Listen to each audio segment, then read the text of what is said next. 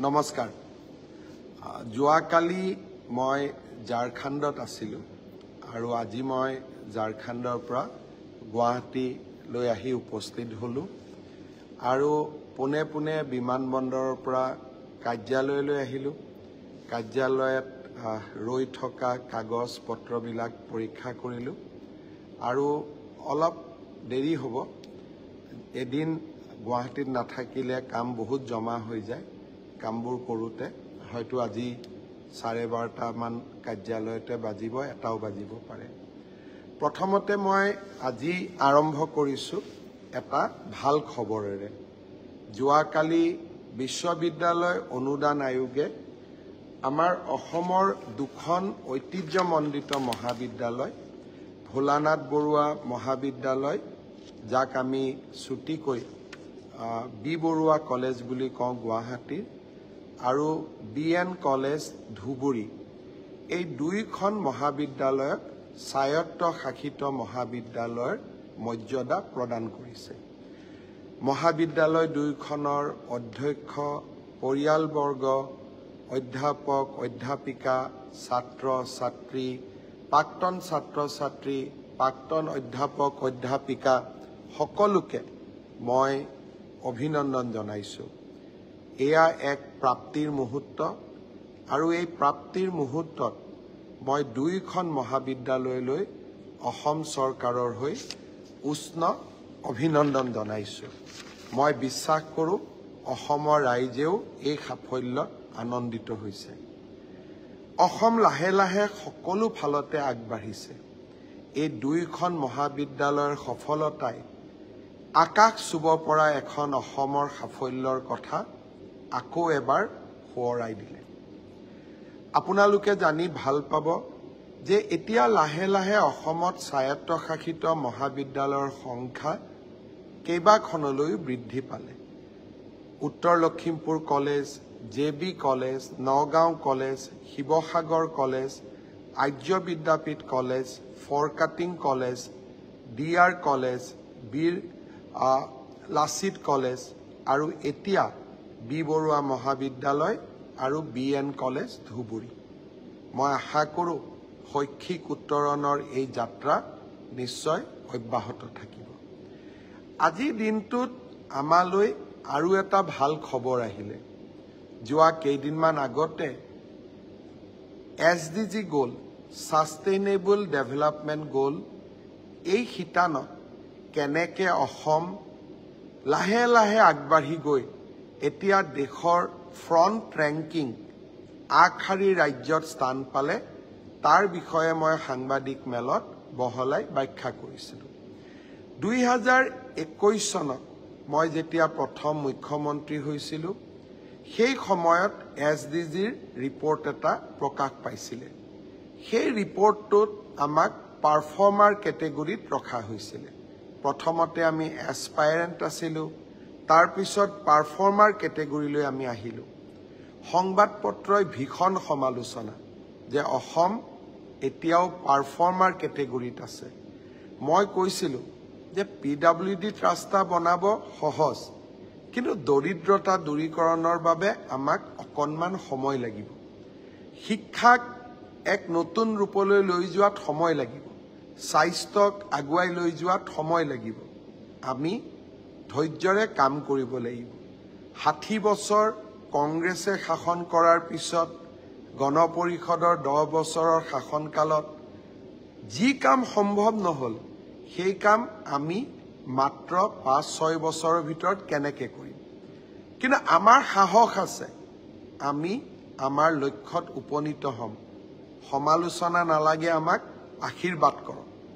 দুই হাজাৰ তেইছত এছ ডি জিৰ নতুন যি আমাৰ সমীক্ষা প্ৰকাশ পালে অসম এতিয়া ভাৰতৰ আগবঢ়া ৰাজ্যসমূহৰ দৰে ফ্ৰণ্ট ৰেংকিং ৰাজ্যত পৰিণত হ'ল। ছাষ্টেইনেবল ডেভেলপমেণ্ট গ'ল হ'ল ইউনাইটেড নেশ্যনে বান্ধি দিয়া মানুহৰ জীৱনৰ লগত জড়িত কেইবাটাও সমস্যাৰ বহনক্ষম সমাধান। যেনেকে দৰিদ্ৰতা নিৰ্মূলকৰণ বিশুদ্ধ খোৱা পানী গ্ৰীণ পাৱাৰ বহুত কেইটা ইয়াত ইণ্ডেক্স থাকে। আৰু গোটেইকেইটা ইণ্ডেক্সতে এতিয়া অসমে ফ্ৰণ্ট ৰেংকিং ৰাজ্য হিচাপে স্বীকৃতি পাইছে নীতি আয়োগৰ সমীক্ষা। এই ভাল খবৰবোৰৰ মাজতে আজি আৰু এটা ভাল খবৰ আহিল। ইণ্ডিয়ান চাইল্ড প্ৰটেকশ্যন এই সংস্থাটোৱে অসমৰ এহেজাৰ বত্ৰিছখন গাঁৱত চাইল্ড মেৰেজৰ ওপৰত এটা সমীক্ষা কৰিছিল যে শিশু কম বয়সতে ছোৱালীৰ বিয়া হোৱা সংখ্যা কমিছে নে কমা নাই অসম চৰকাৰে লোৱা পদক্ষেপৰ ফলাফল কেনেকুৱা ই ইতিবাচক নে নেতিবাচক? আপোনালোকে জানি ভাল পাব। এই ইণ্ডিপেণ্ডেণ্ট গ্ৰুপটোৱে বিছখন জিলাৰ এঘাৰশ বত্ৰিছখন গাঁৱত সমীক্ষা কৰিছিল। তেখেতসকলে আজি প্ৰতিবেদন ৰাষ্ট্ৰজুৰি প্ৰকাশ কৰিছে যে একাশীখন গাঁৱত চাইল্ড মেৰেজৰ ঘটনা কমি আহিছে। তেওঁলোকে ছশখন গাঁও আৱিষ্কাৰ কৰিলে বিচাৰি পালে য'ত এটাও চাইল্ড মেৰেজৰ ঘটনা একৈশ চনৰ পিছত হোৱা নাই। আৰু তেখেতসকলে এইটো সমীক্ষাত কৈছে যে অসমৰ এই গাঁওসমূহৰ আঠান্নব্বৈ শতাংশ ৰাইজে চাইল্ড মেৰেজৰ বিপক্ষে চৰকাৰে লোৱা প্ৰচেষ্টাক সমৰ্থন দিছে। মই প্ৰতি ছমাহৰ মূৰে মূৰে চাইল্ড মেৰেজৰ লগত জড়িত লোকসকলক আমি গ্ৰেপ্তাৰ কৰোঁ আইনৰ ওচৰলৈ লৈ যাওঁ। প্ৰথমতে মানুহে দুই এজনে আমাক বেয়া পাইছিলে। কিন্তু এতিয়া গাঁৱে ভূঞে গ'লে ময়ো সোধোঁ যে সৰু বয়সতে কোনোবা বিয়া বিয়া হৈছে নেকি? সকলোৱে কয় নাই নাই আমাৰ গাঁৱত হোৱা নাই। আমি নকৰোঁ আমি কৰিব নিদিওঁ আমি আইন ভাঙিব নিদিওঁ। আনকি সংখ্যালঘু গাঁওসমূহতো এই কণ্ঠ মই শুনিবলৈ পাওঁ। অৱশ্যে আমাৰ যি প্ৰচেষ্টা সেই প্ৰচেষ্টা অব্যাহত থাকিব। আমাৰ টাফ একশ্যন কঠোৰ পদক্ষেপ চলি থাকিব। নৱেম্বৰ ডিচেম্বৰ মাহত আমি আৰু এবাৰ এনেকুৱা শিশুক কম বয়সতে বিয়া দিয়া ব্যক্তিসকলৰ বিৰুদ্ধে বা বিয়া কৰোৱা ব্যক্তিসকলৰ বিৰুদ্ধে আমি আকৌ এবাৰ ব্যৱস্থা হাতত ল'ম। মই ডি জি পি মহোদয়ক ইতিমধ্যে নিৰ্দেশ দিছোঁ যে প্ৰাথমিক সমীক্ষা আপুনি আৰম্ভ কৰক। নৱেম্বৰ ডিচেম্বৰ মাহত আমি আৰু এবাৰ ব্যৱস্থা হাতত ল'ব লাগিব। এটা নতুন ট্ৰেণ্ড অসমত কিছুদিনৰ পৰা দেখা দিছে যে আমাৰ কংগ্ৰেছ দলৰ টুইটাৰ হেণ্ডেল ফেচবুক হেণ্ডেলসমূহে আৰু তেওঁলোকৰ কিছুমান নেতাই চৰকাৰখনক হোৱাই নোহোৱাই সমালোচনা কৰে। যোৱাকালি মই যেতিয়া ঝাৰখণ্ডত আছিলোঁ একাংশ লোকে অসমৰ ছ'চিয়েল মিডিয়াত হাহাকাৰ লগাই দিলে যে অসমৰ চৰকাৰী চিকিৎসালয়সমূহৰ পৰা দৰ্জনে দৰ্জনে ডক্তৰ ডক্তৰে পদত্যাগ কৰিছে। একাংশ ইমানো ক'ব গ'লে যে গণ পদত্যাগ আৰম্ভ হ'ল মাছ ৰেজিগনেশ্যন আৰম্ভ হ'ল। ময়ো বাতৰিটো পাই আচৰিত হ'লোঁ। মই কালি একো মতা নাছিলোঁ। গুৱাহাটীলৈ আহিয়ে মই স্বাস্থ্য বিভাগৰ বিষয়াসকলক মাতি আনিলোঁ। মই ফেচবুক লাইভত যাম। আপোনালোকে মোক কথাটো কি আছে অলপমান বুজাই কওক। দৰাচলতে আমাৰ অসমত এইটো সত্য যে মেডিকেল কলেজৰ পৰা কিছু সংখ্যক ডক্তৰে প্ৰত্যেক বছৰত পদত্যাগ কৰে। দুই হাজাৰ একৈছ চনত মেডিকেল কলেজৰ পৰা ছয়ত্ৰিছজন ডক্তৰে পদত্যাগ কৰিছিল। দুই হাজাৰ বাইছ চনত বাৰজন ডক্তৰে পদত্যাগ কৰিছিল। দুই হাজাৰ তেইছ চনত চৌষষ্ঠিজন ডক্তৰে পদত্যাগ কৰিছিল। আৰু দুই হাজাৰ চৌব্বিছ চনতো পাঁচজন ডক্তৰে পদত্যাগ কৰিছে আৰু কিছু পদত্যাগ পত্ৰ আমাৰ হাতত আছে। অৰ্থাৎ সংখ্যাটো কিমান? দুই হাজাৰ একৈছত ছয়ত্ৰিছগৰাকী দুই হাজাৰ বাইছত বাৰগৰাকী দুই হাজাৰ তেইছত চৌষষ্ঠিগৰাকী আৰু দুহেজাৰ চৌব্বিছত এতিয়ালৈকে পাঁচগৰাকী। ভৱিষ্যতলৈকে হয়তো আৰু কিছু সংখ্যক পদত্যাগ পত্ৰ আমি গ্ৰহণ কৰিম। কংগ্ৰেছ দলে ইয়াক লৈ ফূৰ্তি কৰি আছে যে ডক্টৰে পদত্যাগ কৰিছে মেডিকেল কলেজবিলাক এতিয়া বন্ধ হৈ যাব। কেইদিনমান আগতে মই কৈছিলোঁ যে তিনিচুকীয়া মেডিকেল কলেজক নেশ্যনেল মেডিকেল কাউন্সিলে স্বীকৃতি দিলে। অসমত এতিয়া তেৰখন মেডিকেল কলেজ হ'ল। কংগ্ৰেছে বিচাৰে এই মেডিকেল কলেজবোৰ বন্ধ হৈ যাওক।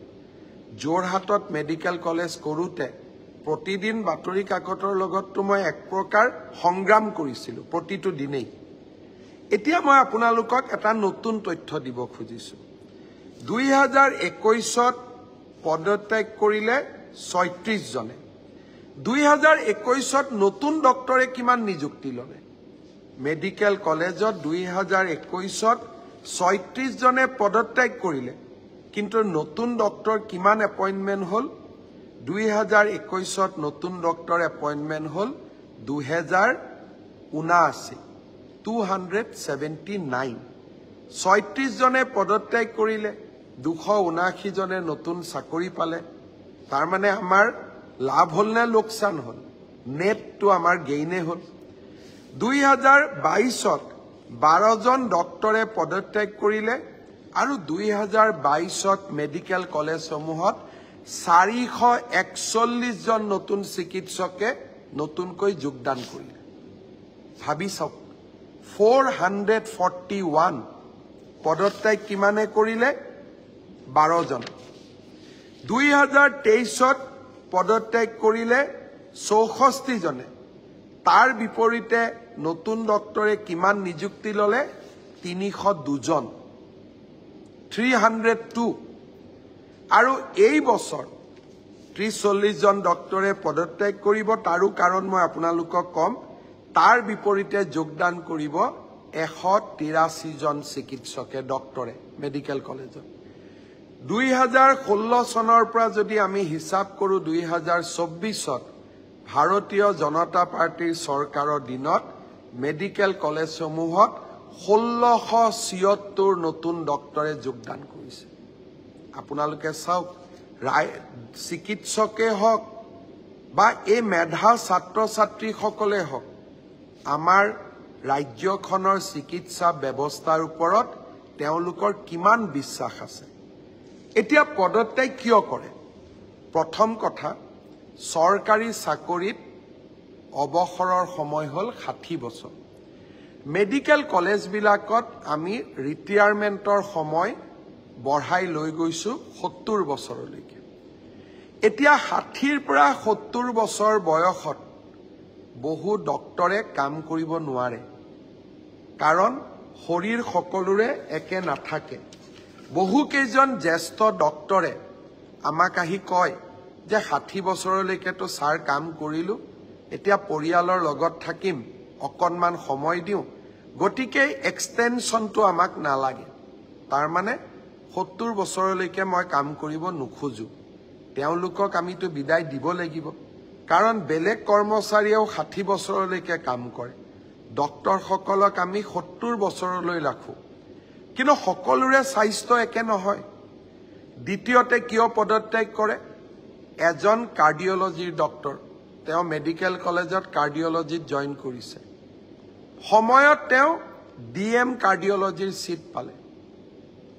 সকলো ল'ৰাই পঢ়িব খোজে। এজন চাৰ্জি চাৰ্জাৰীত আমাৰ তাতে চিকিৎসা কৰি আছে প্ৰফেচাৰ হৈ আছে এছিষ্টেণ্ট প্ৰফেচাৰ হৈ আছে। নিউৰ' চাৰ্জাৰীত তেওঁ ছিট পালে। পষ্ট গ্ৰেজুৱেটৰ পিছত মেডিকেলত ডি এম আৰু এম চি এইচ পঢ়ে। আৰু ভাৰতৰ বিভিন্ন শিক্ষানুষ্ঠানত অসমীয়া ল'ৰা ছোৱালীবোৰ আজিকালি পঢ়িবলৈ যায়। আমি তেওঁলোকক কেনেকৈ মানা কৰিম?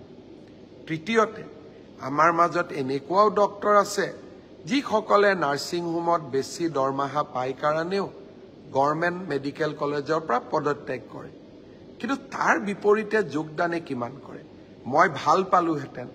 কংগ্ৰেছ দলে পদত্যাগ কৰা ডক্তৰৰ সংখ্যা ছ'চিয়েল মিডিয়াত যেতিয়া দিছিলে তাৰ লগত নতুন কিমান ডক্তৰে যোগদান কৰিলে তাৰ বিষয়ে তেওঁলোকে সাহসেদি ক'ব লাগিছিল। কাৰণ এই যে দুই হাজাৰ একৈছত ছয়ত্ৰিছজন ডক্তৰে পদত্যাগ কৰাৰ বিপৰীতে দুশ ঊনাশীজন ডক্তৰে যোগদান কৰিলে এয়া হিমন্ত বিশ্ব শৰ্মাৰ কৃতিত্ব নহয়। এয়া অসমৰ কৃতিত্ব। অসমত যে চাওঁতে চাওঁতে মেডিকেল কলেজ তিনিখনৰ পৰা তেৰখনলৈ বৃদ্ধি পালে এয়া হিমন্ত বিশ্ব শৰ্মাৰ কৃতিত্ব নহয় এয়া অসমৰ কৃতিত্ব। অসমৰ দুখীয়া পোন্ধৰশ ল'ৰাই মধ্যবিত্ত পোন্ধৰশ ল'ৰাই আজি মেডিকেল কলেজ অসমত পঢ়িবলৈ সুবিধা পাইছে এয়া হিমন্ত বিশ্ব শৰ্মাৰ কৃতিত্ব নহয় এয়া অসমৰ কৃতিত্ব। হিমন্ত বিশ্ব শৰ্মাক সমালোচনা কৰক।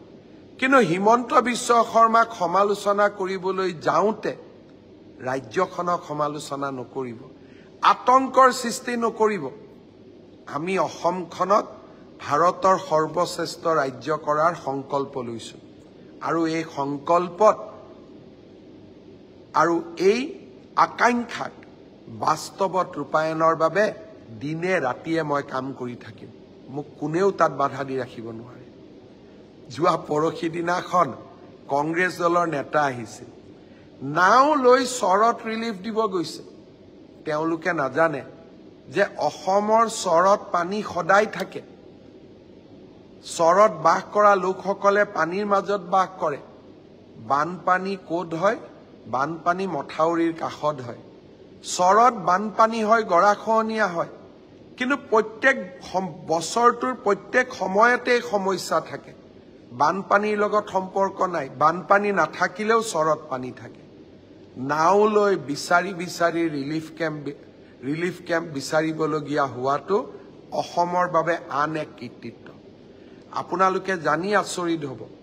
দুই হাজাৰ চাৰি চনত কংগ্ৰেছ চৰকাৰৰ দিনত অসমত তিনিশ চল্লিছটা মথাউৰি ভাঙিছিলে।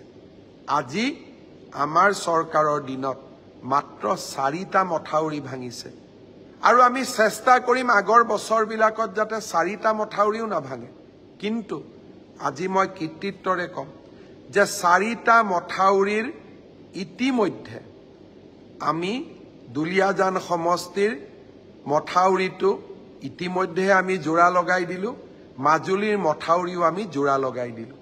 বানপানীৰ দহ দিন পিছত মথাউৰিক সম্পূৰ্ণভাৱে নিৰ্মাণ কৰি ওলোৱাৰ ই আগতে আমাৰ চৰকাৰৰ দিনতো সম্ভৱ হোৱা নাছিল কংগ্ৰেছ চৰকাৰৰ দিনতো সম্ভৱ হোৱা নাছিল।